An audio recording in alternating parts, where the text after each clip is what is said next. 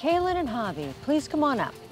Using the punching bag earlier to crush their flaws was just the first step in self acceptance. The final step is standing before their partner, revealing their true selves. Unconditional love can only be achieved when you accept yourself first and then your partner in turn. Here are your paddles from earlier. Please read your board. I hate that I'm stubborn. I hate that I'm selfish. I hate that I push the people I love away. I hate that I allowed my friend's opinion to dictate how I treated my son's mother.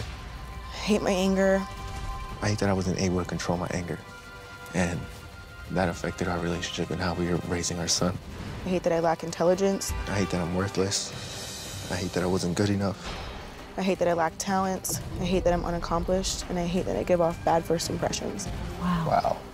Look at that list, Javi. Uh, to me, and I think she has a lot to, to be proud of from where she was to where she is now. I don't believe him. Hmm. Because a lot of these things are the things that you tell me on a regular basis. So now that you're telling me that you don't believe him, and I don't believe you,